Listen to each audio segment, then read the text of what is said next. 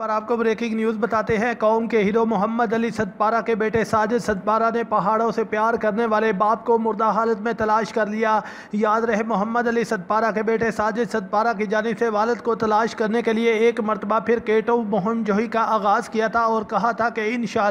वो अपने वालद और उनके दो साथियों को तलाश करके ही वापस लौटेंगे। लेकिन ज़रा इस बात की तस्दीक कर रहे हैं कि केटू बेस कैंप से खबर मसूल हुई है कि मोहम्मद अली सतपारा को केटू के 300 मीटर नीचे गहराई से गुजरने वाली एक रंग में से मुर्दा हालत में तलाश कर लिया गया है। ये खबर सच है या झूठ, ये आने वाला वक्त ही बताएगा, लेकिन ज़रा इस बात की तस्दीक कर रहे हैं कि मोहम्मद अली सतपारा को तीन सौ मीटर नीचे गहराई में तलाश कर लिया गया है।